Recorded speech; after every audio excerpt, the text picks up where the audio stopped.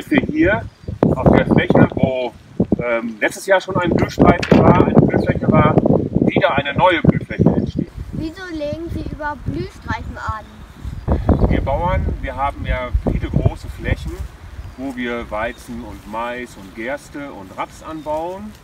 Und da wollen wir, dass nur eben Mais und Raps und Gerste und Weizen wächst. Äh, und dann haben wir so an den Rändern von unseren Flächen und jetzt an dieser Ecke haben wir dann eben Flächen, wo auch andere Pflanzen noch wieder wachsen können, wodurch ähm, ja, viele, viele Tiere eben auch noch ähm, Unterschlupf dann finden können und Nahrung finden können. Welche natürlichen Partnerschaften gibt es in der Landwirtschaft?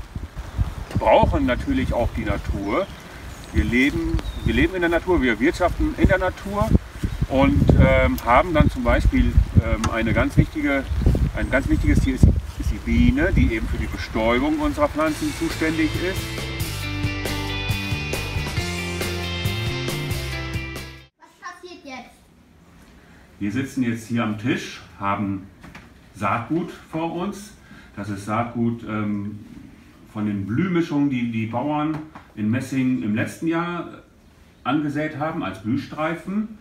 Und den füllen wir jetzt ab in diese kleinen Pergamenttütchen, dass ihr ein bisschen Saatgut mit nach Hause nehmen könnt. Vielleicht für euren Garten, dass ihr in einem Garten, in einer Ecke eures Gartens noch ein bisschen eine Blühecke einrichten könnt und zum Verschenken und zum Verteilen. Was sollen wir in Zukunft machen? Es ist so, dass nicht nur die Bauern ähm, bisschen was für die Bienen und insgesamt für den Artenschutz tun können. Das kann eigentlich auch jeder von uns machen.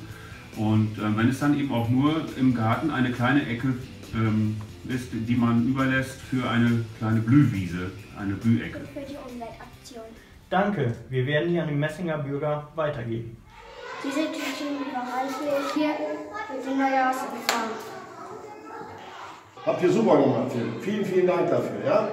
Danke.